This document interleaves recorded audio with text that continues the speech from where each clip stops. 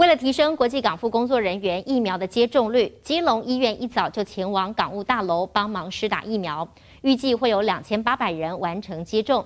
现场同样采用鱼美挺式的打法，只要坐定位置，拉开安全距离，由医护来移动，逐一施打。另外，桃园机场从昨天到明天开放有预约的机场人员施打 A Z 疫苗，预计三天下来可以完成九百人施打。桃园机场第一航下的户外走廊排满人潮，这些全都是要来打疫苗的机场人员。自己上网抢名额的，蛮幸运，因为很多人没抢到，有疫苗打就好，毕竟很多人没有打。公司有跟我们说可以。那知道今天打的什么疫苗吗？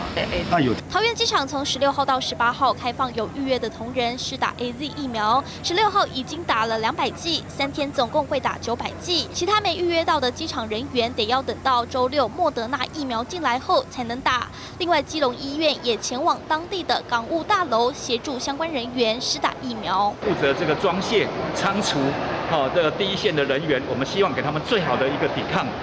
抵抗力。我们前两天的统计，每一个小时，哦，每一个小时可以打到一百五十个人次，那这样子的一种高效率。也让我们这次的一个施打过程非常的顺利。从十五号到十七号，为期三天，预计有两千八百人完成疫苗接种。这次采用日本鱼美挺式疫苗打法，只要民众坐定位置后，由医护人员走动，逐一完成施打。不但可以加快打疫苗的速度，还可以让民众保持社交距离，避免交叉感染，一举两得。记者综合报道。